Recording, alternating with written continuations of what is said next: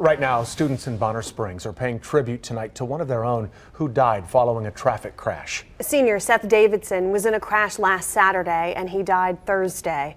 He was a special needs student known and loved by everyone at his high school. KCTV5's Betsy Webster is live for the football game just wrapped up with more on how Seth was honored. Betsy. Well, Ellen Brad, you know, it was interesting. Everyone I spoke with said the same thing again and again about Seth. He always held open the door. That's right. Every morning when school started, he'd go to the front entrance, hold the door open for each and every student, and greet them with a smile. When the pep squad ran out with the Braves flags, they ran out as superheroes in honor of Seth. You see, Seth was big on Batman and a big presence among the Bonner Springs Braves. He was always there running around with a big smile on his face at school. You could never miss him. And especially if I was upset through school or something, he would come and poke my shoulder or scare me coming around the corner or something just to make me laugh, to have a better day.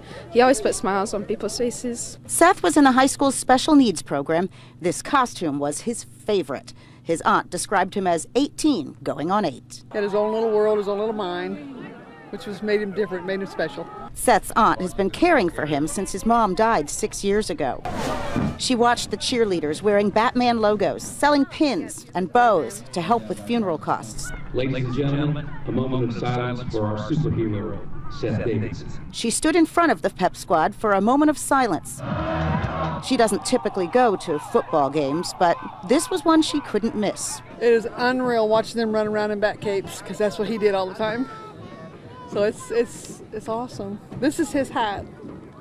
Not mine, it's his. So the tributes, like the band playing the Batman theme at halftime, were simultaneously heartwarming and heartbreaking. This is all for Seth. I mean, I had no idea the magnitude that these kids he had on these kids. So yeah, I had to come see this. And, you know, Bonner Springs was able to get Seth a victory tonight, beating out Blue Valley Southwest 10 to 7. As for the wreck itself, Bonner Springs police have told us very little, just the time and location. About 12:30 p.m. on Saturday on Kansas Avenue just east of the Walmart. And Seth's aunt says police have told her next to nothing as well.